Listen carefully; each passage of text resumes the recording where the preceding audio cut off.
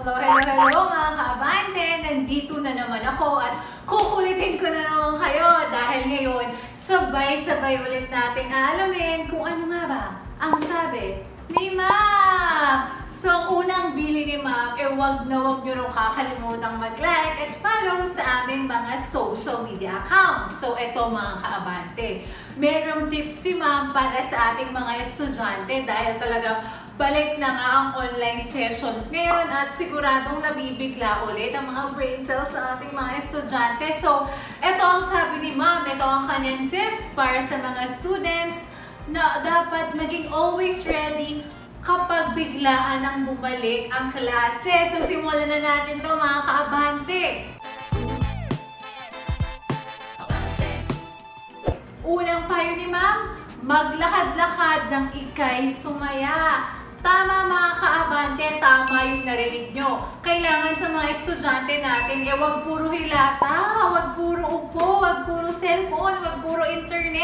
Maglakad-lakad din, mag-walking-walking tayo sa umaga para kumbaga yung daloy ng dugo natin tuloy-tuloy. Eh, saka sabi nga natin, di ba, nung nag-exercise tayo, talagang uh, nakakapag-uplift ng feeling, nakaka-positive vibes lang yung pag-exercise. So, kailangan uh, yung mga estudyante natin maaral din yung pag-ehersisyo kahit yung simpleng paglakad, yung simpleng brisk walking, yung malaking tulong na yan para sa pagbabalik eskwela, eh talaga mo ready na yung mga brain cells nyo at hindi kayo yung tatawanan na lang ng mga kaklase nyo dahil yung brain cells nyo ready ready sa lahat ng ibibigay ni ma'am, okay?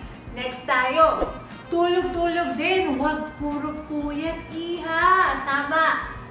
Tulad ng una nating payo, syempre, uso ngayon talaga yung pagpupuyat sa mga estudyante natin dahil wala silang iniisip na pasok or maagang pasok kinabukasan. Wala silang guard na maaaring takasan kapag na-late sila. Wala silang flag ceremony na iniintindi kung saan pwede silang hindi makapasok ng school pag na-late sila. Kaya todo bigay sa pagpupuyat yung mga estudyante natin. Pero mali yan. Bukod sa napapagod yung mata nyo, napapagod yung katawan nyo, eh bumabagsak yung resistensya nyo kapag puro kayo puyat. At hindi yan healthy para sa inyong, para sa inyong uh, pag-aaral dahil kumbaga nakakaslow yan ng, uh, ng processing natin sa utak natin. So dapat uh, ugaliin natin na matulog ng maaga at magkaroon tayo ng sapat na tulog. Diba nga, bili ni ma'am, at least 6 to 8 hours ang tulog natin para naman talaga recharge tayo at may panlaban tayo sa mga activities natin sa online sessions nila ma'am at sir, okay? Next tayo. Tara, exercise tayo. Nako, huwag kayo mag-alala dyan sa pag-exercise dahil sagot namin kayo. Di ba marami tayong workout videos dyan, yung una na natin uh, ginawa. Kailangan din talagang active yung mga estudyante natin ngayon dahil nakakatulong yan para makapag-isip-isip ng tama yung mga estudyante natin, isip-isip ng tama yung mga estudyante natin.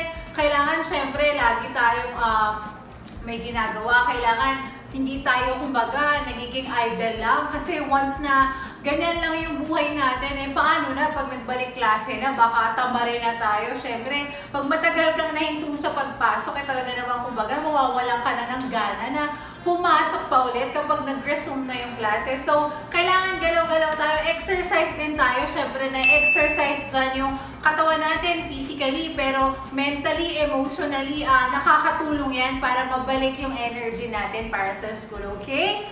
Next! Huwag puro sarili ang kausapin, ibang tao, iyo ring pansinin.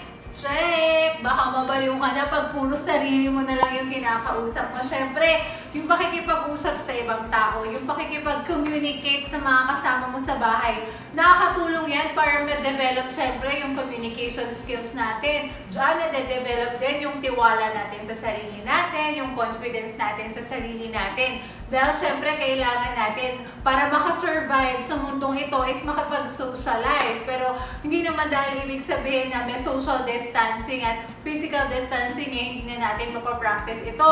Pwede mo namang tawagan ng iyong mga kaklase, magkumustahan kayo, mag-update kayo sa isa't isa, at mas maganda pa nga eh, mag-review kayo ng mga past lessons nyo. Kumbaga, para mapagandaan nyo yung sakaling pagbabalik ng klase or mag-resume na yung school year na to o magbukas na yung bagong school year para lagi kayong handa. So, always ano, communicate with other people. Huwag tayo uh, masyadong uh, maging aloof, huwag tayo masyadong maging loner. Ito, ang huling sabi ni ma'am, makinig sa music para ikay hindi mainip. Di ba mga kabate, yung mga ilang nanay nga natin dyan na uh, kapag uh, pinagbubuntes ang kanilang mga anak, eh, nakikinig talaga ng music dahil nakakatulong daw yun sa magandang development ng kanyang baby. Siyempre, sa atin, sa ating mga estudyante, nakakatulong din ito dahil talagang kumbaga, uh, nagiging maganda yung mood ng isang tao pag nakikinig sa music. Kumbaga, nakakagana eh. Kasi tayo, sa kanta na naririnig natin, nakaka-relate tayo. Minsan nga, naiiyak pa tayo. Minsan, napapasayaw tayo. Minsan, napapa...